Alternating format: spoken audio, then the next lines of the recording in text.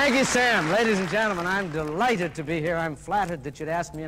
It's fun to get together and talk about what we always talk about when we get together like this how to, oh, maybe how to build relationships that stay glued. More important, maybe how to find the time to do it. I'm going to resist the temptation tonight to throw around a lot of selling platitudes and slogans like plan your work and work your friends. Think big and you'll be big. I got a neighbor gets up in the morning, he sings in the shower, he, he plays an inspirational record for breakfast. He looks in the mirror, he said, You can do it, boy. You can be chairman of the board of the, what the mind can conceive, man can do. You know his problem? The bum never leaves the house. we get letters after some of these clinics, you know. Yeah, some of them favorable, some of them they don't go along with you. Some of them kind of funny. You always hear about the guy who said, I took all the things you told me about Mr. Gove and I used them and I won a sales contest. I won a trip to Mexico City. And I'm still down there trying to win a trip back. Get me back. and you always hear from the beefer, the griper, who says, if Khrushchev wants any more territory, he can have mine.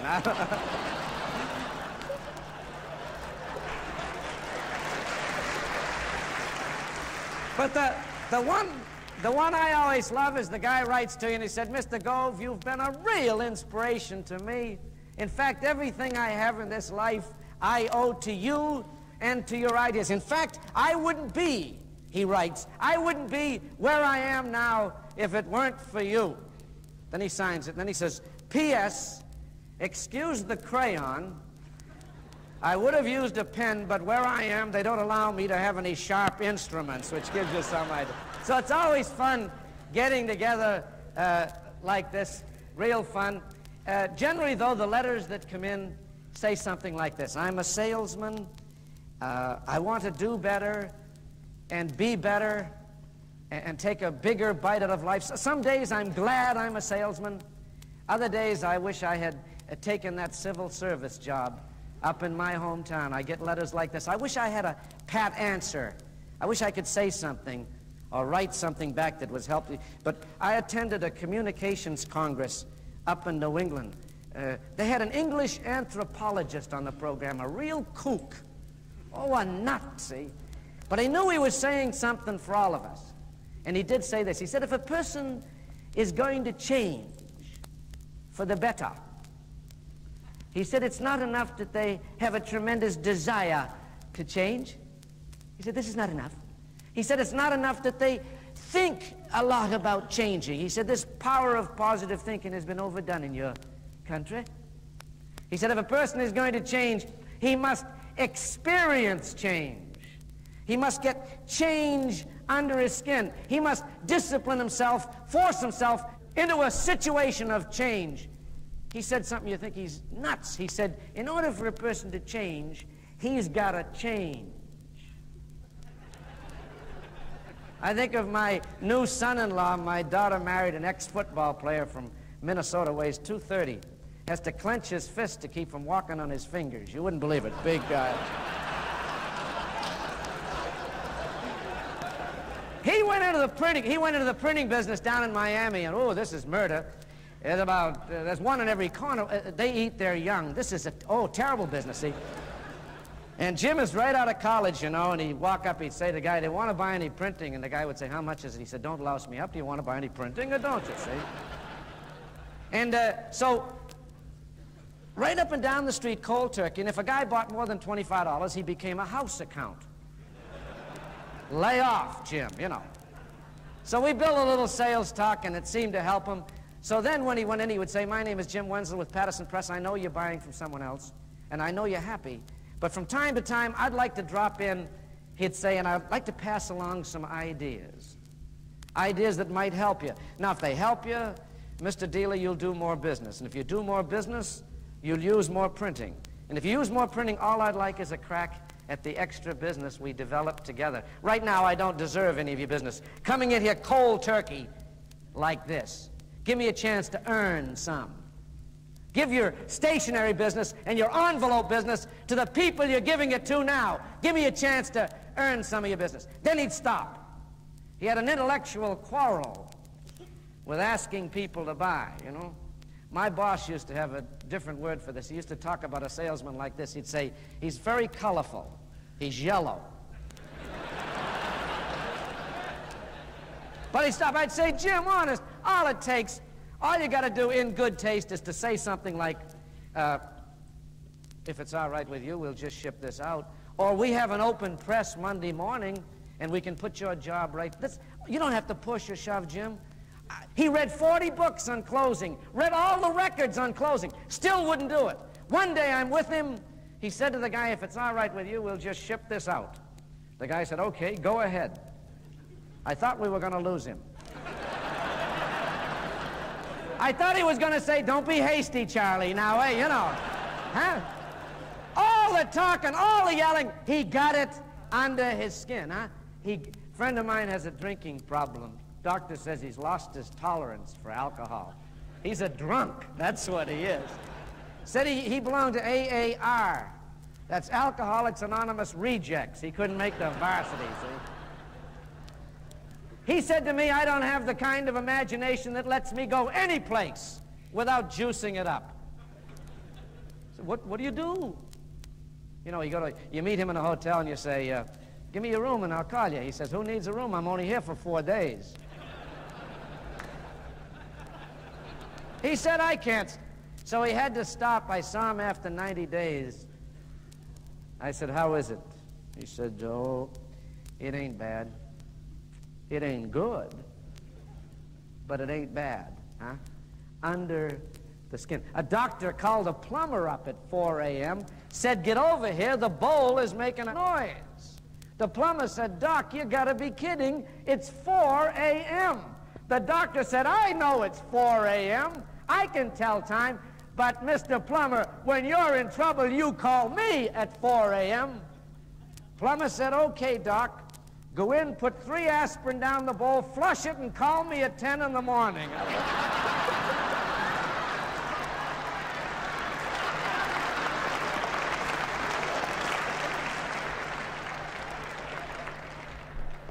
Joseph Grindal said, It's not enough to think you want to be a little better. It's not enough to have a tremendous desire for change. And most people want to change a little bit. He said, you got to experience change. You got to get it under your skin. I want to share with you one idea tonight, and what, a, what an honor it is to work on the same program with the big man from Topeka. You've got something coming to you that you deserve just for being here. He's really just the greatest, the patron saint of all the other speakers. We just love him to death because he's so good. I want to share with you one idea while we're together, and I can say this.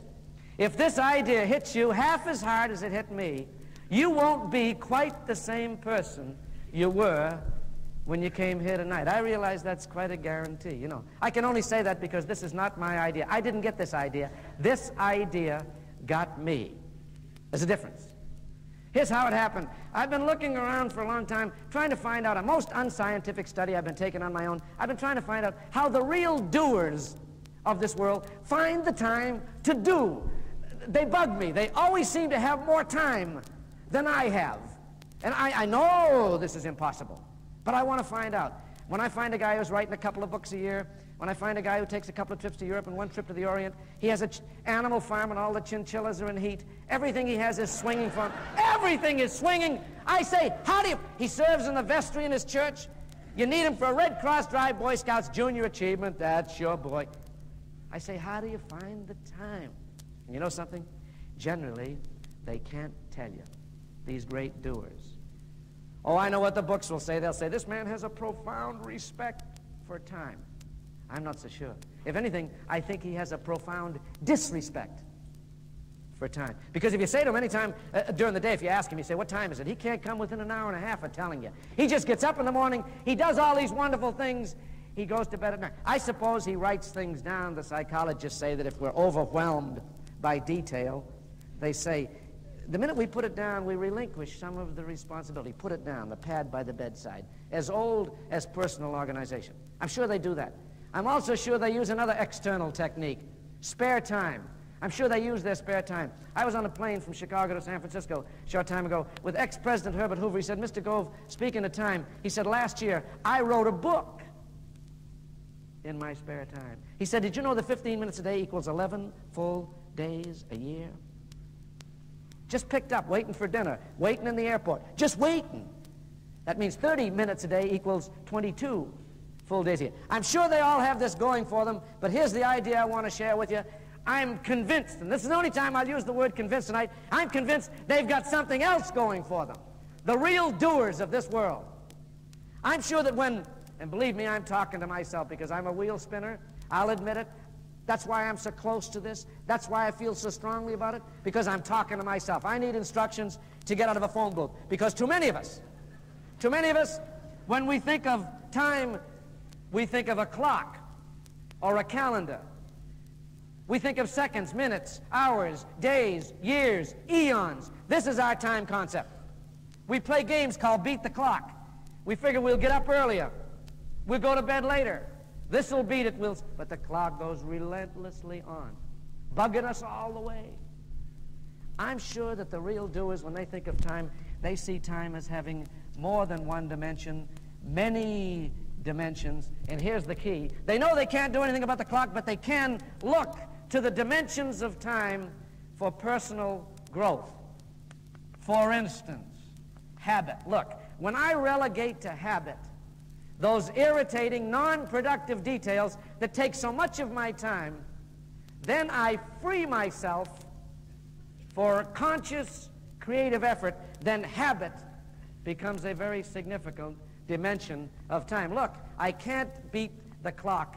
I can, if I want to, control habit.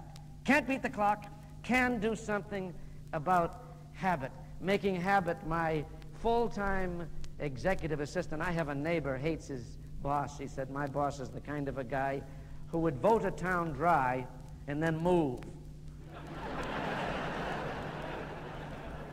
hates him. I said, you're making a liar out of me. I tell people one of the prime requisites for happiness is working under a favorable climate, in good, you know, with people you like to be around. But you do very well. He said, well, this doesn't have much to do with it. See, I don't intend to spend the rest of my life working for this guy. But while I'm working for him, I can't afford to develop any lousy habits. You see, when I find a guy I do want to work for, I want to go to him and I want to say, look, this is my record. This is what I did for a guy I didn't even like. Th think what I could do for you, Dad, if I started to like you. Just a little bit. Here's one. Here's a dimension of time. Energy. I don't have the license to preach. I've been on the wagon for about five years. I've lost all my friends.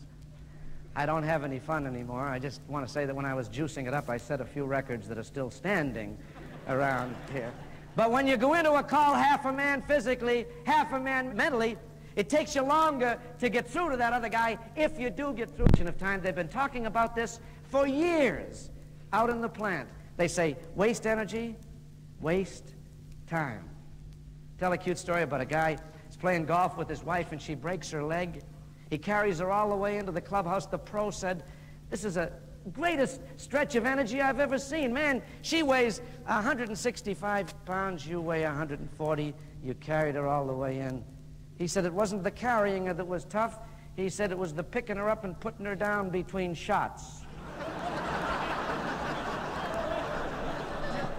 Energy as a dimension of time. Oh, yeah, Jake Gaither. You know, actually, I forgot the little story. Jake Gaither tells this wonderful story about they're playing Bethune-Cookman in Tennessee, and they're whomping them about 45 to nothing in the third quarter. I love this story.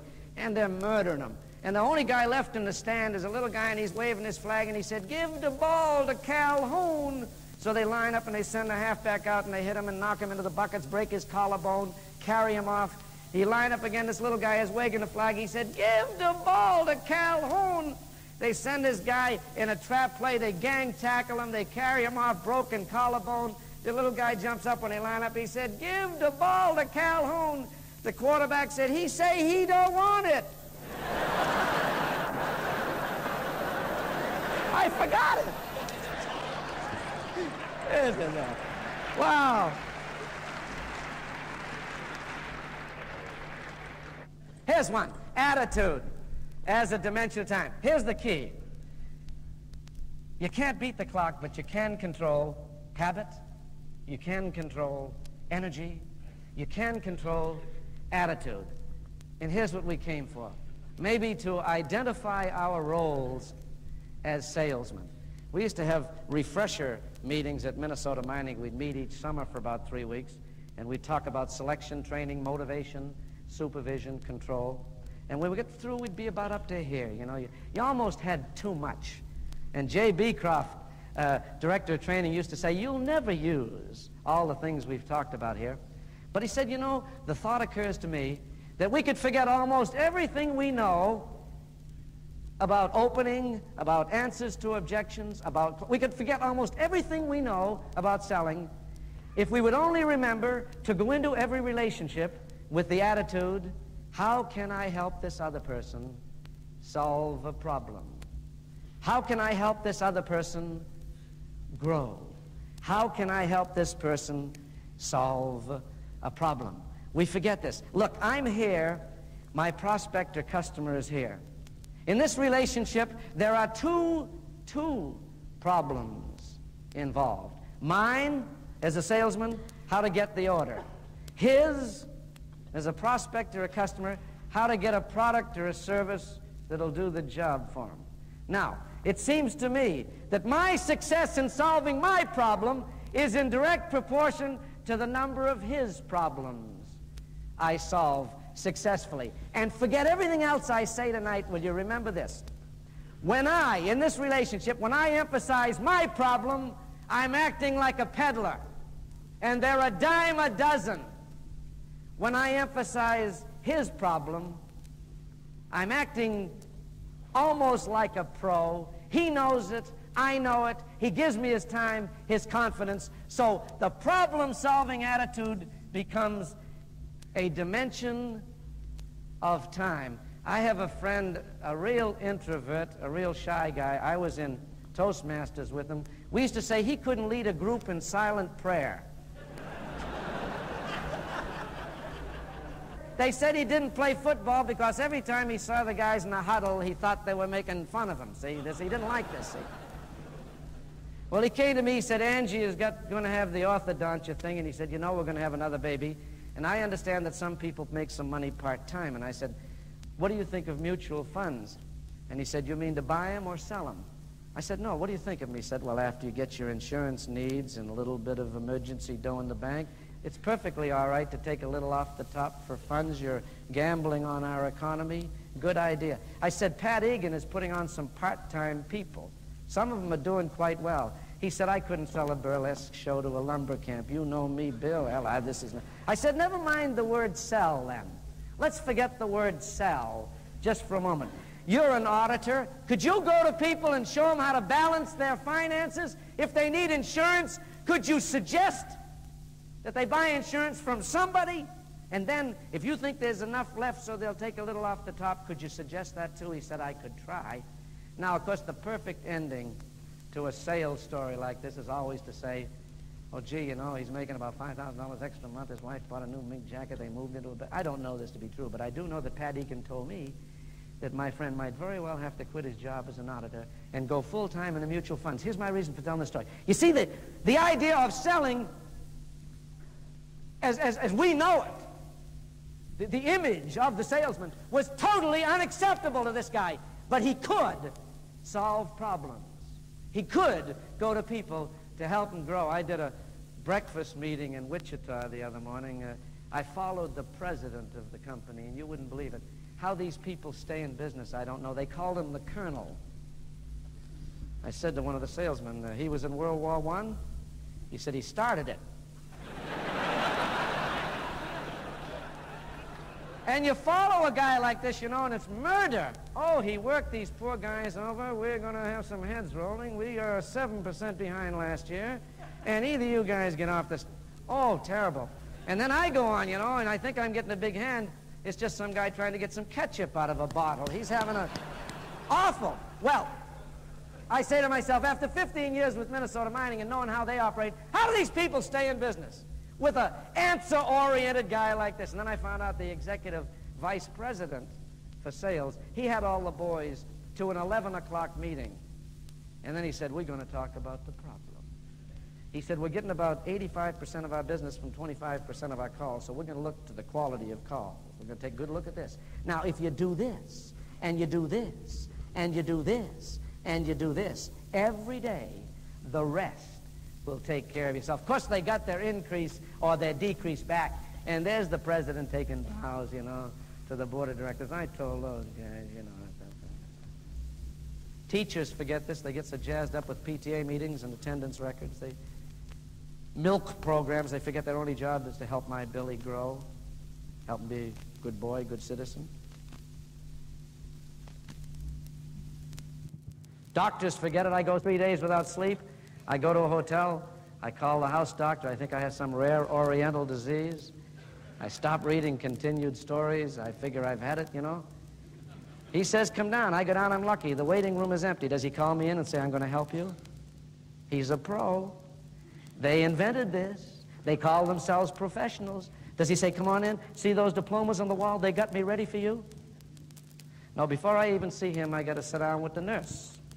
She's got a questionnaire. I'm dying, but she's going to ask me, what income bracket are you in, she says. Any insanity in your family? I feel like saying I got an uncle up in Maine thinks he's a cow. We were going to get rid of him, but we need the milk. You can't do this.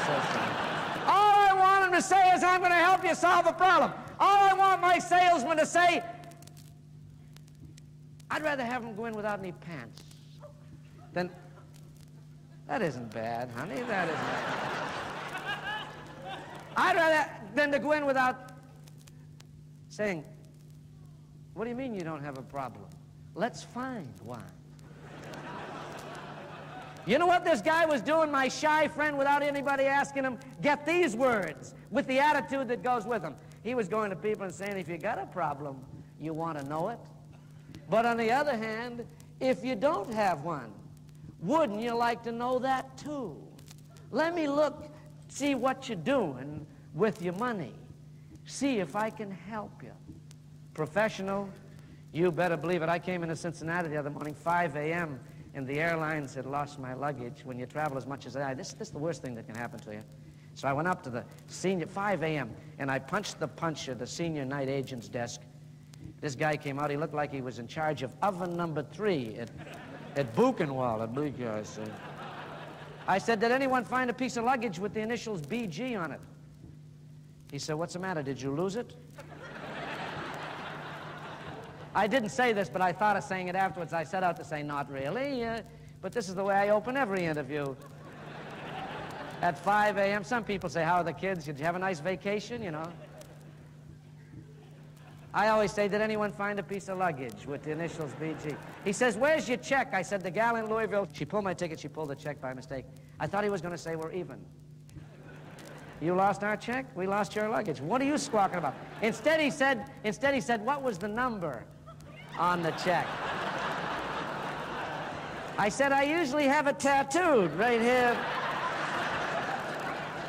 Again, again, all we say to our people, tell them you're going to help them solve their problems. It's the only reason for your existence. We can get high school sophomores working part-time just to go in and pick up business already established how much of a quiz kid do you have to be to walk into a call and say, how you set with this, Mac?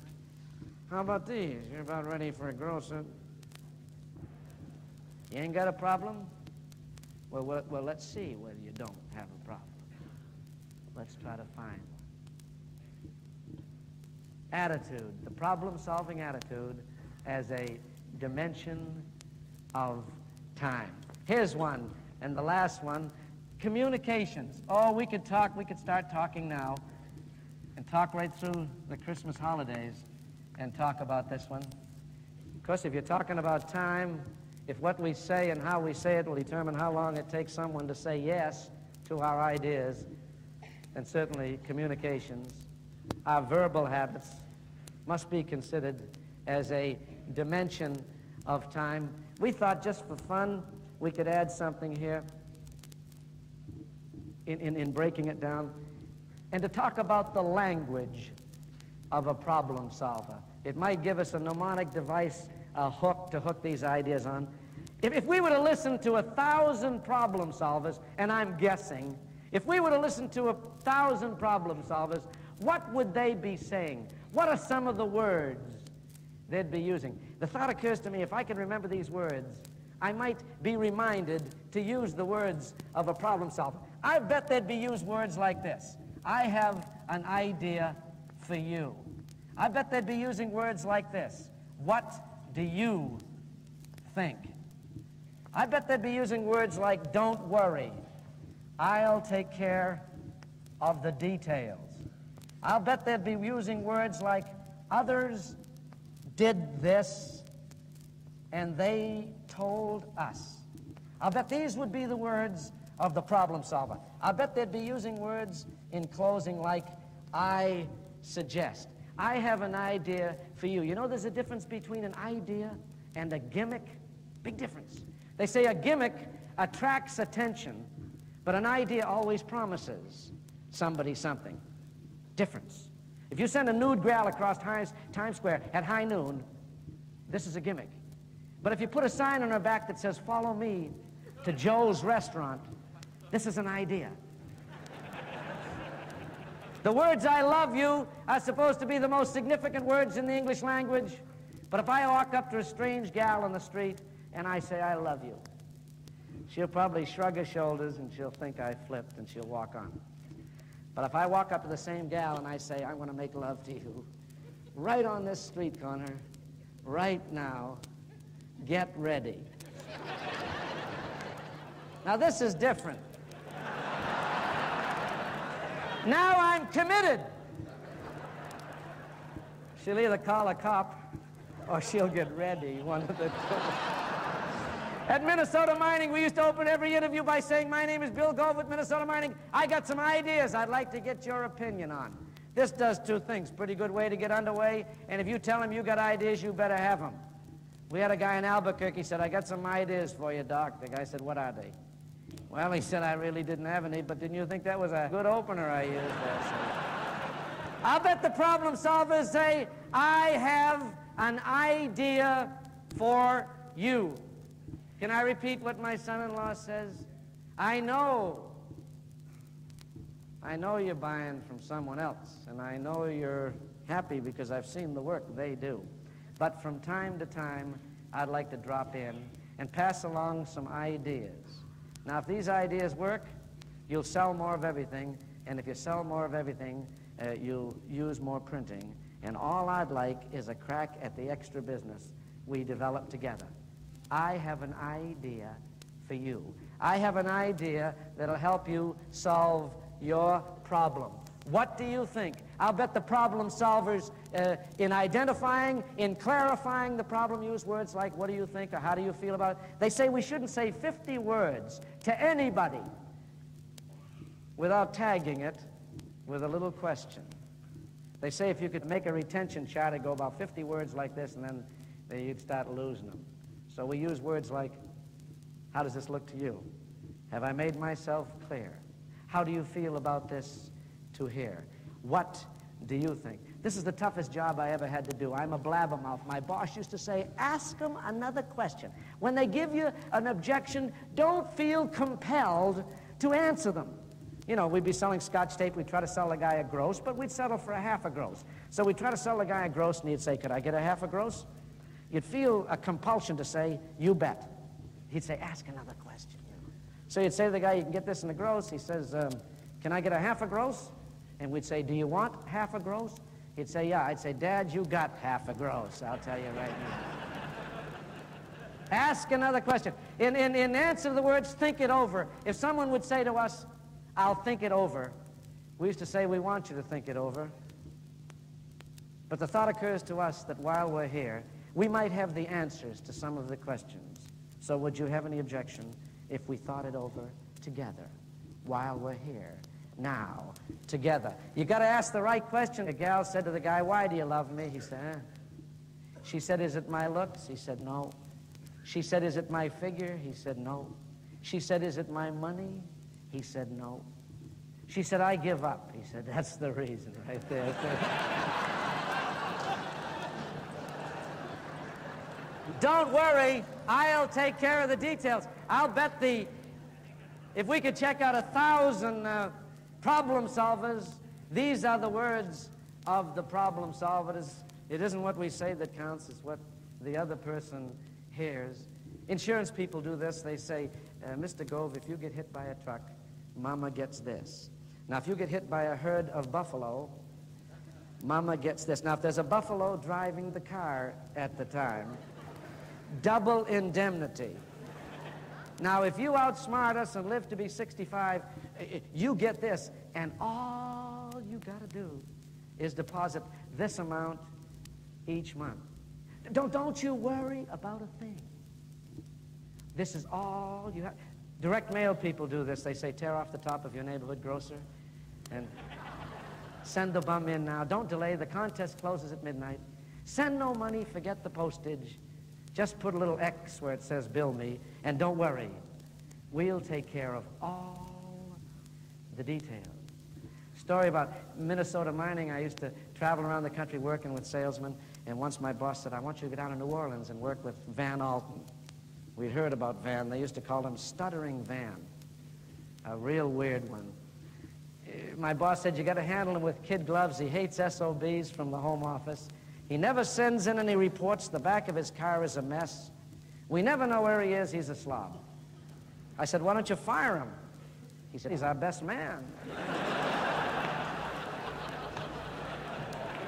but he said, if it'll soften him up a little bit, he said, give him a $50 a month raise. So I went down and Van picked me up and he gave me the silent treatment all the way. And I took it as long as I could take it. And I said, look, let's save a little wear and tear on each other. I'm not down here because I wanted. The boss sent me. And I said, incidentally, Chuck gave me permission to give you another half a hundred raise per month. I said, don't say anything to the other fellas. He said, don't worry, I'm just as ashamed of it as you are. and then we made a call. You wouldn't believe it. In those days, we were selling scotch tape against string, and scotch tape costs a buck and a quarter this size roll, and all the string you could carry away is about two bits. So we had to sell speed and versatility and convenience. So I'd walk in behind Van, and he'd give the guy a little pitch, you know. But as likely as not, the dealer would say, well, that looks pretty good for packaging, but I guess I'll stick with string. And Van would say, what's the matter, you stupid?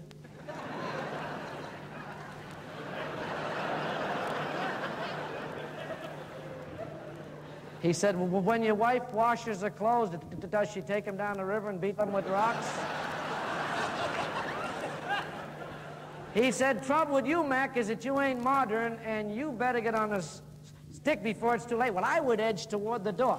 But you won't believe this. You won't, this interview and others like it would actually reach the negotiation stage before any blood was spilled. Then the guy would make a bad mistake, the dealer. He'd say to Van, you seem pretty sold on this, and I guess I could swing for a trial order. How much do you think I need?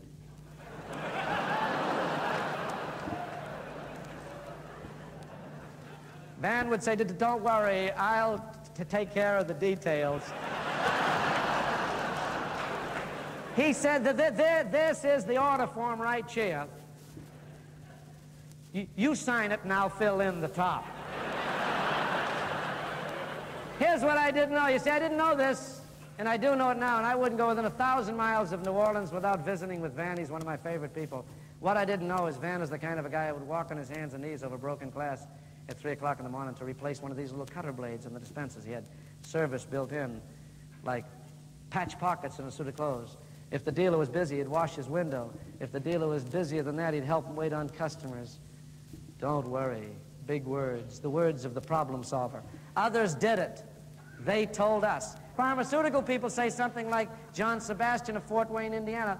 He used these liver pills for 59 years. Ten days ago, he died at the age of 105. That was 10 days ago. Yesterday, they had to beat his liver to death with a broom.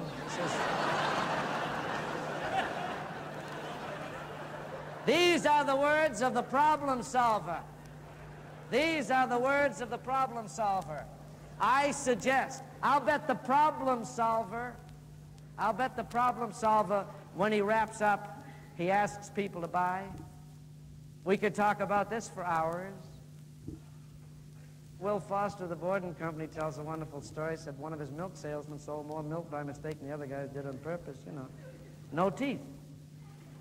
He'd go to the housewife, he said, you better buy this milk. You wouldn't want your kids to look like this. Was this I suggest, what have we said? Dr. Joseph Grindal, let me sum it up. And oh, you're the greatest. When you're this good, we hate to leave you, you know. What did Dr. Joseph Grindal say? He said that if a person is going to change, it's not enough. I love this. This means something to me. If a person is going to change for the better, it's not enough. Did he think about it? It's not enough that he have a tremendous desire. Said, we know people who have desire who are starving to death. But if a person is going to change, they must experience change. They must get change under the skin. He said, when someone would say to Thomas Edison, must be great to get inspired and then invent something, Edison said, this isn't the way it is at all. I invent something, then I get inspired. You know, when you read about doing something for 60 or 90 days and getting it into your habit patterns, you think this is kind of corny. I used to cringe when I'd read some guy say, if you do this for 90 days, boy, you'll never do it any other way. But you know, after spending uh, two weeks with Grindal and these other people who are working in the human relations laboratories, this is not a bad idea. If you want to change, you must experience. And then into the time concept, the one idea I wanted to share with you. When we think of time, too many times we think of seconds, minutes, hours, days. The real doers, I'm convinced, when they think of time, they know they can't do anything about beating the clock, but they look to the dimensions of time for personal growth. Habit. When we relegate to habit those details, when we make habit our full-time executive assistant, do you remember we used to talk about Carl Bach from Penn Mutual? Jewish refugee, one leg shorter than the other, a thick Litvak accent. You wouldn't believe him. Last year he wrote ten and a half millions of paid for life insurance. Oh, he's the greatest. You wouldn't believe. He walk up to the guy and he slaps him in the cheek. He said, Buddy, if you look as good on the inside as you look on the outside, I think I can get you a little more life insurance. he say to the guy, how much life insurance you got? The guy says, plenty. He says, how much? He says, $50,000 worth. Carl says, I guess you don't intend to be dead very long. But you know what Coop Curry, his boss, told me about Carl Bach? He said the average life insurance man gets up tomorrow and he stretches. Said I should call some people. I should check with my bird dog. I should send out some longhand thank you letters. But it's hot, and I'm not in the mood. This is not my upcycle day. Carl gets up in the morning, dresses, shaves, puts on his pants, calls five people, calls, makes checks with five. His bird dog sends out five longhand direct mail letters. Carl has formed the habit, you see, of doing the things failures don't like to do. So habit becomes a dimension of time. Energy, waste one, waste the other. In the plant time and motion studies, to you and me, how you feel when you go on the job. Boy, we could talk about this one. We know it affects us. We know if we get overtired. We know if we juice it up too much. We know if we don't get sleep, it affects our job. Never get one of us to say it. No, sir, but energy, all I want you to do tonight is to consider that energy is a significant dimension of time, attitude. Going into the relationship with the attitude, how can I help this other person grow? Mm. How can I help this other person solve a problem? If he's got one, I'll help him solve it. If he thinks he hasn't got one, I'll help him find one. I'll create one. One of the greatest stories to come out of World War II, I guess, when the staff people were selling the GI insurance, they did very well, $10,000, low cost. The staff captain would go in and he'd tell the story, and everyone would line up and take it. They'd go down the deep south. Some of these boys didn't dig this fiduciary consideration and option. So they'd tell the story and they'd say, line up. These boys wouldn't move. Little second lieutenant at Blanding got his people together. He said, what the man say? He said, you take out this insurance. then uh, you go into combat and you get it hit in the head with a bullet. Said, uh, your loved one's going to get a 10,000 clams. Said, if you don't take out this insurance, then you go in combat and you get hit in the head, your loved one's going to get a five-pound box of nothing. So you take it out, you take your choice, you do it whether you want to or not. But remember, who you think they're going to send into combat first?